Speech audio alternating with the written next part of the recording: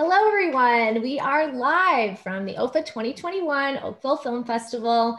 Thank you, everyone who is here today. Uh, you know, it's a little bit hot and sticky. Uh, yesterday we had some rain, but uh, it's a little warm, but it's a perfect movie day because it's uh, a little sticky out there. So thank you for being here today. Uh, we've got lots of things to celebrate. We are celebrating uh, Multiculturalism Day, and we got to screen some amazing, amazing films. Um, we are also celebrating the Women Who Give event. So we have uh, our feature film, A Girl from Mogadishu, uh, an incredible film that we're going to talk about. Um, but let's just first start with our thank yous to our sponsors. So thank you Zonta International and Zonta Oakville uh, for presenting the film. Uh, partial proceeds from the multi Multiculturalism Day Pass and the All Access Pass will go to Zonta. Um, so it's a really great organization that helps to empower women and to educate. So thank you so much for, for bringing us this film. Um, next, I just want to thank our filmmakers and our lovely guest, Ifrah, who are here today. Uh, thanks for showing up and, and talking about your stories. It's so great for the audience, um, even just if you if you love film or if you're thinking about becoming a filmmaker, uh, getting into the minds of these creative filmmakers that we have, and to just to learn a little bit about the background and what goes into film. So thank you so much for being here and sharing your stories. Um, thank you to the OFFA board members. You guys work tirelessly to bring this festival alive, and we are so grateful for you. Thank you to Wendy and thank you to Tori who are here today. Um, you're behind the scenes, but we definitely are grateful for all the work you do. Uh, lastly, thank you to our viewers. You guys are why we do this. Uh, we hope that you enjoy all the films that we bring you, and uh, your support is so amazing and so appreciated. Um, but I have two favors to ask of you. Uh, one, don't forget to vote. You can vote for each short and each feature at the bottom of your screen. There's a one to five rating, one being a lower score, five being the highest score, and you can rate every single uh, short and feature that you screen during the festival. So that really helps with the Audience Choice Award. Uh, number two, if you'd like to get involved in this Q&A, you can post some questions in the chat and then I can ask our filmmakers right here and you can get involved in the conversation. Um, definitely lots of feelings about our films today. Uh, we had uh, two excellent short films pick. Uh, it was a Canadian short film by Alicia Harris. Um, and now we have uh, Leaving to Live. That was our second short film. And we actually have director David Rodrigues here. Hi, David. Thanks for being here all the way from France. yes. Hi. Hi, everyone. Thank you so much for the selection on your festival. And, um, and thank you for the Q&A. thank you for being here. It's, it's so great. And I think you know, we want to look at virtual being a bad thing or tired of it, but it also brings us the opportunity to get to talk to you from afar. So thank you so much okay. for being here. I, I have my cup of tea. It's okay. Perfect. What time is it there right now? Quite mid- midnight uh, and 14. It's okay. It's okay. I'm happy to be there. Thank you very much. Okay, perfect. We're, we're happy to have you. Uh, next, I want to introduce our director for A Girl from Mogadishu, Mary McGuckian. Hello, how are you? Hi, Alicia. Lovely to be here. Thank you for organizing all of this. We are so happy to have you. Thank you for telling us this story. Um, a little bit about you. Uh, you're born in Northern Ireland. Um, you completed your education in uh, Trinity College in Dublin. Um, you got involved with Trinity Players Theatre Company, and you established Pembridge Pictures in 2001. Um, and now you serve on the board of the Ifrah Foundation. So next, I want to introduce our amazing guest of honor, Ifrah Ahmed. Thank you so much for being here um, you know, the subject of this film. We are just so lucky to talk to you and to have you here. And thank you for sharing your story. Hi. Thank you for having me and Mary actually.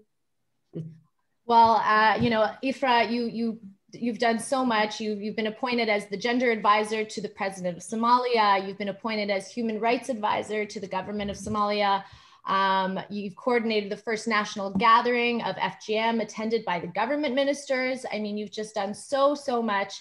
Um, so thank you for, for telling this story. And I think it's, it's films like these that are just in dire need of more eyes, just to, to create awareness, to educate.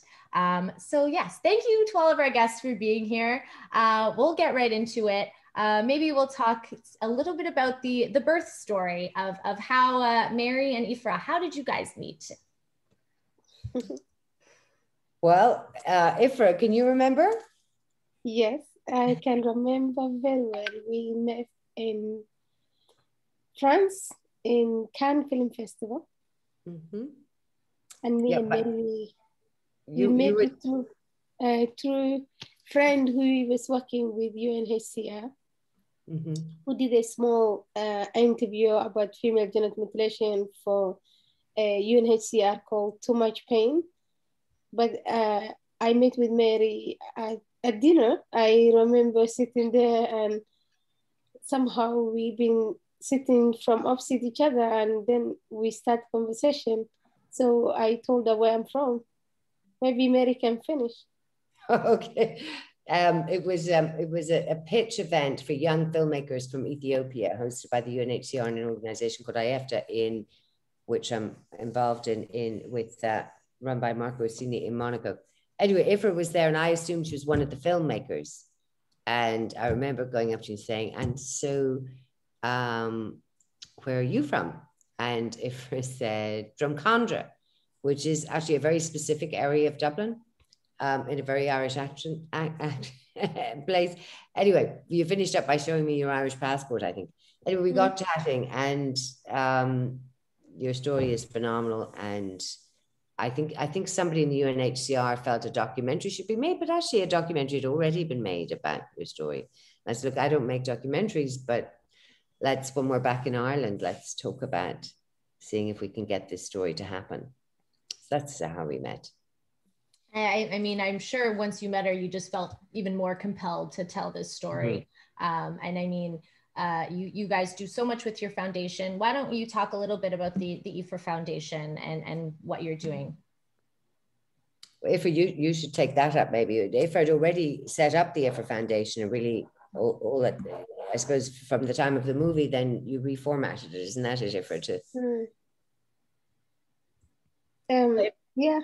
Um, we set up, actually, I went back to Somalia in 2014 and I was then uh, just Ifrah, but thanks to Mary, who gathered her friends, who are now uh, the board member of the foundation. And I was lucky to have an umbrella that, you know, I belong to because I, I had nothing. And we set up Ifrah Foundation and Ifrah Foundation is work is uh, empowering and we were being legislating, fighting for the legislation, but which is, it didn't happen.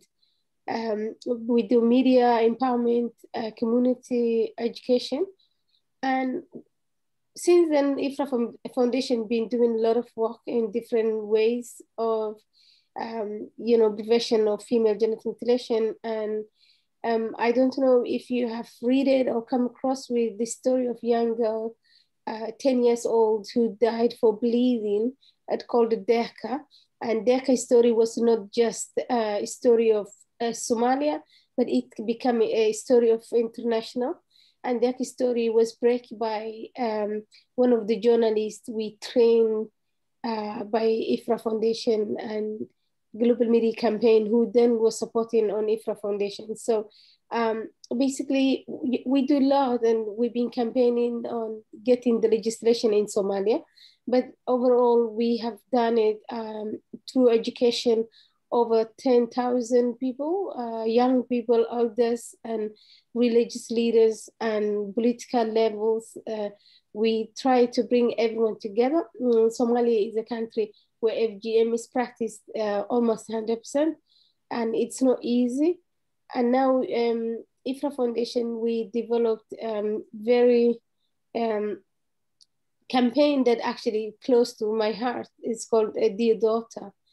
And I remember Dear Daughter was the idea for me when I first uh, established with Mary coming to her, when I been to Somalia and just thinking, meeting mothers who always says that, no, uh, I was scared and I want my daughter to be scared. I want she to feel the pain and that was so much painful for me and i feel a little bit uh, stressed about mothers who have been through such um, such a terrible practice and they wanted their daughters to pra- to feel the same pain they have felt.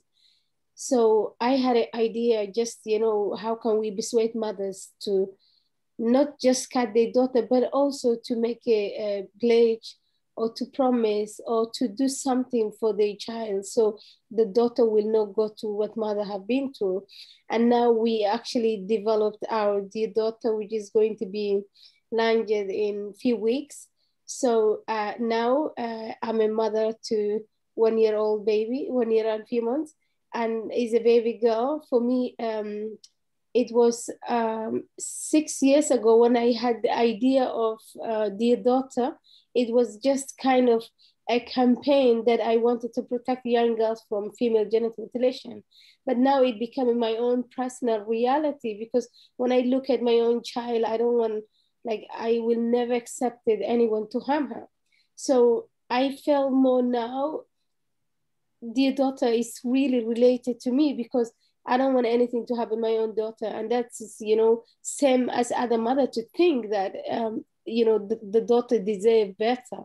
So um, now I'm taking next challenge on the daughter campaign and we developed with uh, UNFPA is going really well. We just uh, kick off our first videos of pledge, which is is finishing next few days and hopefully it will be aired on on some time. Not only that, but I wanted uh, millions of Somali mothers, uh, future mothers, uh, even grandmothers and fathers to make same pledge to their grandchild and also mothers to make the same pledge to their daughters. And I wanted that, you know, Somali mother to say that I want my daughter to be free from practice that or whatever I have been through. So for me, it's really um, now is another step and another challenge for way forward on Ifrah Foundation. Uh, I never spoke about my daughter. That is the reality. But I think you know, um, question you asked brought me to speak my my foundation where we at and you know how excited I am for to build and bring it out for Dear Daughter campaign. So thank you for the question. Thank you for sharing that. Congratulations on being a mom. I mean, that must have been such an incredible experience to know that I am the start of changing a cycle within my family. And I mean, thank you. I, I just so much gratitude for, for you for for sharing that. I, I mean, I, holding back tears right now. Um, so, so thank you. Um, I mean, telling telling these vulnerable stories, um, it, it, it's seems like an incredibly daunting task. Um, why don't we talk to David a little bit? Um, you had to share a really uh, vulnerable story of, of, of, a woman in learning to live um, with domestic violence. Uh, why don't you tell us a little bit about uh, telling this story in a short film? Yes, um, yes. Uh, Leaving to Live is a short film. Um, the story of uh, of a woman uh, whose name Alexandra, who makes a, an important decision that will change her life, leaving her marital um, um home with her seven-year-old daughter, whose name Leah, and she asks her to make a promise to say nothing to to her father and uh, like you like you said, uh, Alita, it uh, the, purpose of this film is to denounce uh, violence against women, and uh, it was very important for me to to tell this story um, for all the the women victims of violence, but also for all the children uh, who are also victims of, of, of this of this violence and I, you did it in such a beautiful way. I mean i didn't really know what where the direction was going to go. And then with the box i thought that was such a beautiful way that you know this was how the child was seeing. If, if i can put daddy's anger in a box then i can lock it away and then mommy won't be sad anymore. Um, where did that idea come from with with the box? The idea came um, from my my daughter, oh. to whom uh, we we read this book with my wife, and uh, my wife Lucie Guiraud, who is my co-writer. So thanks to her uh, to to being my my my co my co-writer on this on this project. Um, and uh, and then we we thought we we could include this story with the anger to to use this, this idea to draw like a parallel with uh, the anger of the father that cannot be uh, contained. So that's with my my daughter. So thank you to my to my daughter. I love, love that. I think we with love we can do um, we can um, maybe um, invent stories um, to to to give some um, some message some um, Absolutely. Yes. You, you're telling these kids these stories and, you know, you might be reading books or maybe you're just telling oral stories and you're sharing traditions. Um, and, you know, sometimes it, it does mean changing cultural traditions and, you know, going back to uh, in a girl from Mogadishu, um, you know, Ifrah, you, you're struggling with trying to keep the cultural traditions alive you know you you you have this you're somalian and that's you know you're trying to maintain that but also shifting into realizing maybe these traditions they're wrong you know and and finding a way to balance your culture and and certain things that that violate human rights um, now maybe you can tell us a little bit about your experience with with Aja, who was who was playing you in the film. Uh, I mean, she, she she just did such an incredible job. I, I felt so many things, um, and then meeting you to see the the actual face behind it. Uh, tell us a little bit about that experience of someone playing you. Oh, you're muted. I'm mute. Sorry, I really had a great um, great time with Aja being playing me. Uh, there was a moment that we both saw emotion, and there was a moment that we were both having fun. So great, and especially you know when you actually look at someone who you think or who you see that they're different worlds and you know someone is famous and doing you know other things and uh, being in Hollywood and things like that. And then when I meet her present, she was completely different and the best human that I can ever think. Because, you know, I really had a great time and it's been so fun just to work with her and, you know, showing like basically how she dressed. Um, this afternoon, I had a visitor at home and then they were talking about the movie and they say, oh, and you know the lady who was playing you she wore everything. She was exactly you. And i say to them that is the point. Because you know there was a time i could actually make an argument if she has a little bit different what i have like color scarves and earrings and rings and all that. And if I see anything different, I would actually make a complaint, complaining and say, no, this is not me. And I remember when the movie was over, finished the shooting, I went her and I say, give my crack the bag. And I say, you know, it's just, she's, she was amazing woman. And, you know, I can say that it's great that she was uh, one who played and I can now say, Mary, that she made it really right choice to Aja to play me. Mm. Uh, Mary, maybe you can talk about a little bit about that process and finding Aja. It was very, very difficult. Um, and we were very lucky. I mean, Aja is, is phenomenal. Um, we, you know, we, we were struggling to, it had to be somebody who Perfect. could play, you know, I mean, you know, learn Somali, perfect South African, you know, East African accent in English with a tinge of Irish. Um, and you know, Ifrah's a phenomenal charisma. I know this here on the Zoom, Ifrah, but you know, larger than life, incredibly compelling and charismatic character. And that's so it was a lot of asks. Um, and I think it was one of the other. I was actually in LA, you know, doing different castings with different people, and um, a, one of the line producers, and I do, you know, you do know Aja, and I hadn't thought of her. Um, and I was only there for two days more. And she read she read the script overnight and came to meet for it immediately and just said she absolutely was blown away and wanted to play it. And then when she agreed to do it, do you remember if we went back to meet her? So we were in Ifrah was in Washington doing, you know, it was a bit mad. She was in Washington doing the it was the first global conference on FGM at Washington in Washington just after Trump took over, I think, and UN women looked like they were going to be decimated, and it was it was a kind of a bit of a tough few days. But anyway, it was an important conference, And then there was kind of a spare day, and a few we thought, let's go to LA for the day. so you could meet Aja. And it was the most extraordinary thing, the two of you. It was like this great kind of um uh, there was such respect both ways and deference.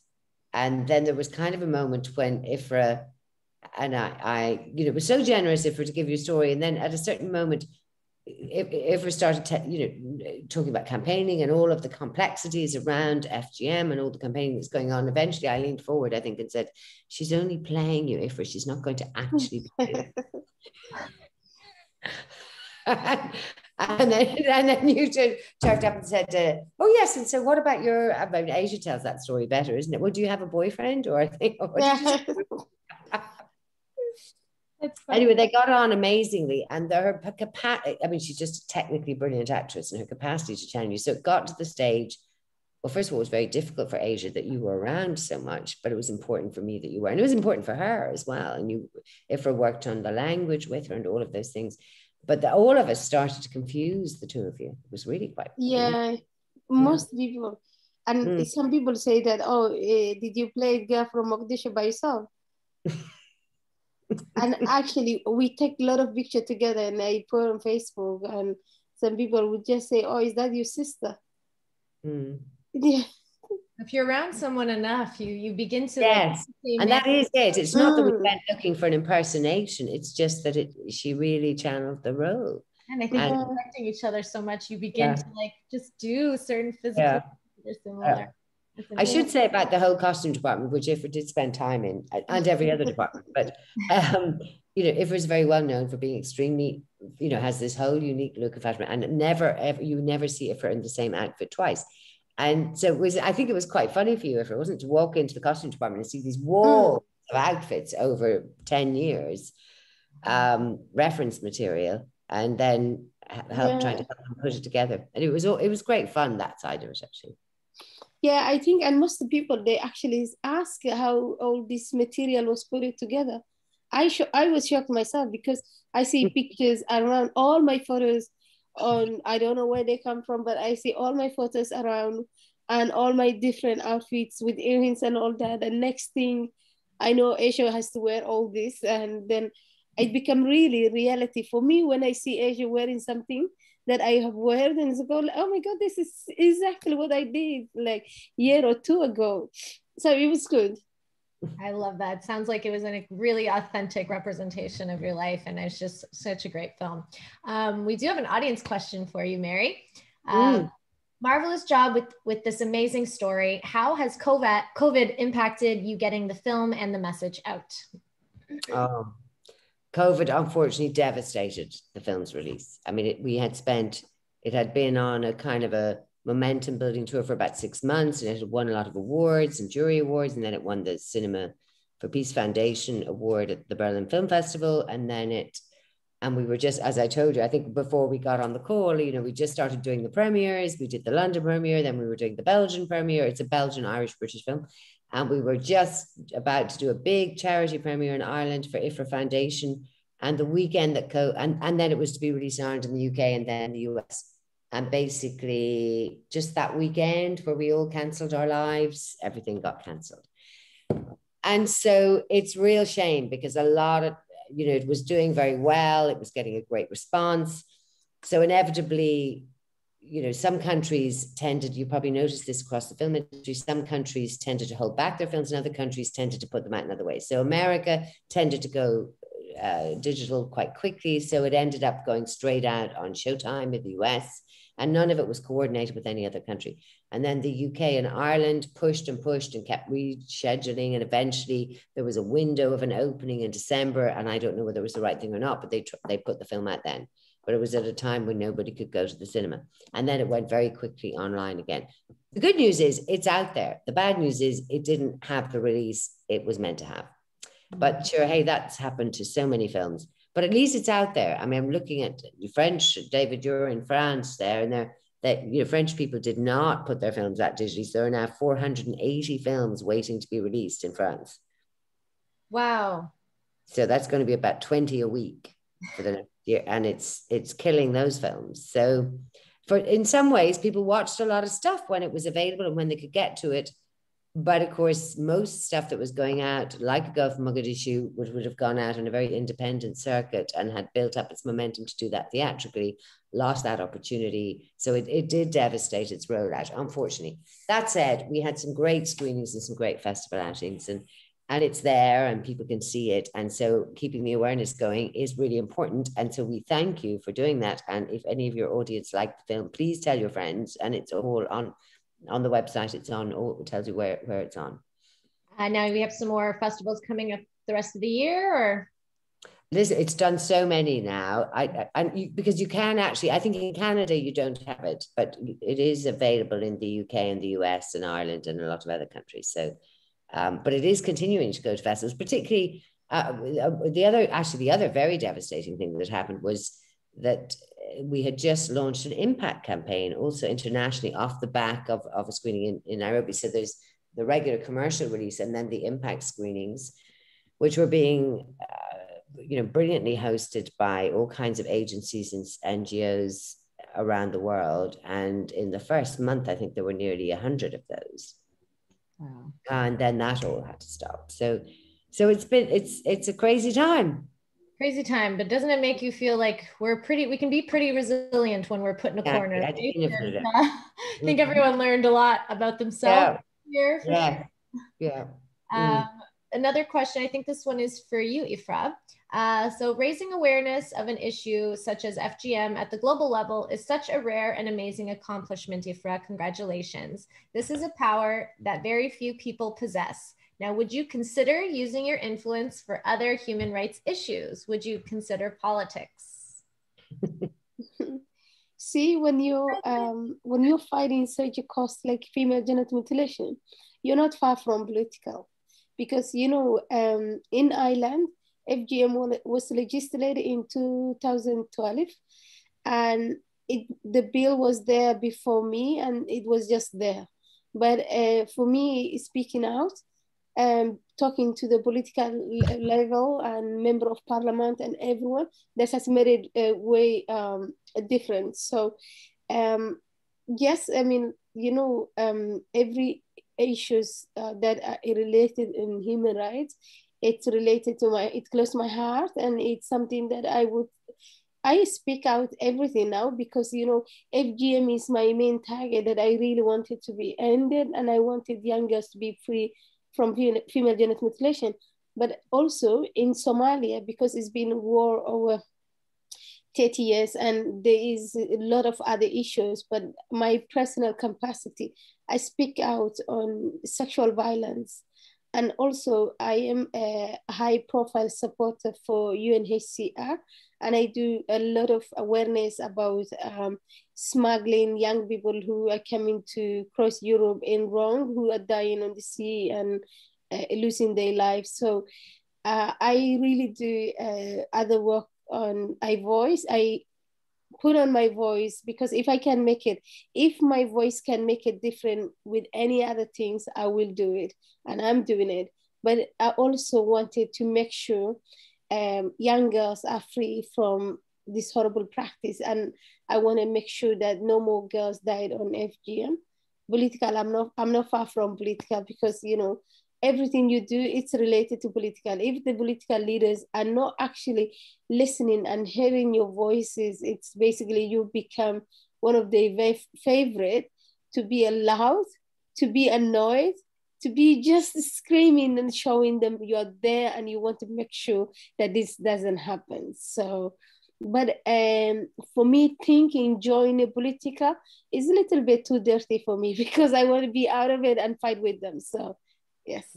Oh, you're you're an amazing fighter, and you keep raising that flag. We're we're waving it with you. Um, you know, you said uh, there was a line in the film. I'm not sure if this is a direct quote from you, but the only way to fix the past is focus on the future, and I I love that. I mean, it's exactly right. Uh, you know, educating starting as as young as they can, um, but then it's also when they grow up in, instilling them with the confidence that they can make a change you know at, at any age you can get involved and once we get you know people understanding the cause and bring that awareness films like these do that and you know thank you so much for telling your stories and, and sharing these with us Um, maybe we have some advice for some upcoming filmmakers who who want to get um, other messages out. Uh, Mary or David, if you if you have any advice on that, uh, creating a film and and how to start, maybe. Mary. Oh, where you go, David? we haven't heard from you for a bit because you.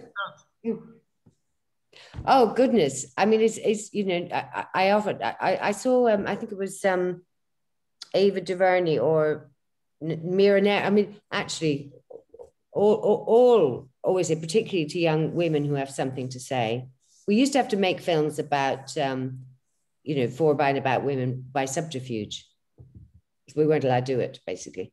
Um, and so there is a moment now where where it doesn't necessarily have to be by subterfuge. I'm not saying it's easy, but um, certainly there's a moment in time now to to talk about uh, you know, to use film as a medium for for human rights messaging.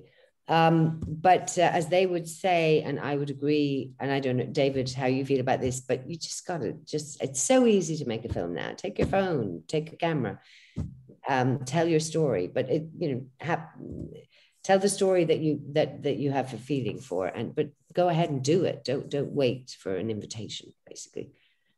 What do you think, David? I totally agree with you. yeah, I, I also have something to add because, for example, uh, Mary take issue on female genital mutilation and is a very typical subject. And people will just go like, oh, this is very strong. And of course, Mary also had uh, other friends or, you know, other people she shared with the story that she want to do it they might really give a, a negative view or maybe telling mm. she needs to understand the cultural you know barrier and mary actually bravely take this story and decide to do something about it but um, my advice is you know uh, if you want to do something and it's really you want to make a difference about it go for it and don't think about because is there is something such things called their culture their issue is their problem think about your neighbors, your daughter, school she goes, who she goes with, who mm. she sits or plays with. Think about those, you know, those are the people who it, it affected the issue, whichever um, subject it is. Like, for example, I can talk now female genital mutilation because you might have a, a, a daughter who goes with a, a, school with other daughters, your neighbors who actually risk at FGM. You can ignore such things. So I just wanted to say, you know, if you want to make a difference, let it be something you want. Don't think about their culture, their issue. Their issue, their culture is your own issue and your own culture. And Mary take this is her own. And look now, I mean, it's in Mary. your voice, it has to be said, but yes. yeah. But Mary bravely do it. So I say, you know, if you want to make a difference and you think you can, don't hold it back. Just go way forward and do it. Mm. Beautiful. Yes, There's a Native American, I think it's in Canada, and it's shared in the Celtic culture. This idea of the four universal healers, um, but one of them is storytelling. It's in mm. our nature to storytell. So if you have a story to tell, tell it. Yes, and like like Mary said, and and I and Ifrah, um, for for young filmmakers who, who are maybe um, afraid because we, we, we doubt a lot. It's normal to doubt. I doubt uh, for each film before on, on, when I write, when I cast, for everything we, we doubt. It's normal. Just like Mary told, you you have now very nice mobiles, uh, mobile phone. You can shoot with them. You have a friend to to to write a story to to tell a story. You, you can really do some beautiful short film to start. You can do one short film, two, three, you will learn. So if you like cinema, just, just do it. Thank you so much, guys. I mean, those are all like answers from the heart, right? If you if you feel like you are called to do something, you take that calling no one's going to invite you as you said mary um, so it's, it's just following your dreams and, and believing in something and being passionate about it and running with it um, you can make the difference. If you know if there's changes you want to see, the change starts with you. So um, thank you guys for for being here and for for sharing your stories. Um, I think this is uh, we're gonna tie things up here. Um, I just want to thank Zonta International and Zonta Oakville for sponsoring and bringing us this film. Um, thank you to our viewers who got involved in the chat today. We are really grateful for you. Thank you, uh, Mary McGuckian, for, for directing and bringing us this film. Thank you, David Rodrigues, for bringing us uh, your short film, Leaving to Live. And thank you, Ifrah Ahmed. We are just I'm so honored to be just even in your virtual presence um, that you were you're just such a strong, wonderful woman to share your story. So thank you so, so much. Um, we hope to see more from you guys and uh, Ifrah, keep gunning it. We, uh, we're just gonna keep advocating and, and spreading this film. And uh, if you like these films, please don't forget to share them with your friends and uh, tell them to watch too. Um, don't forget to go to the Ifrah Foundation. You can donate and get involved and support this cause and create awareness and be the change that you wanna see. So uh, thank you, everyone. Don't forget to vote. And uh, that's another day with the OFFA 2021 Virtual Film Festival. We have another film tonight.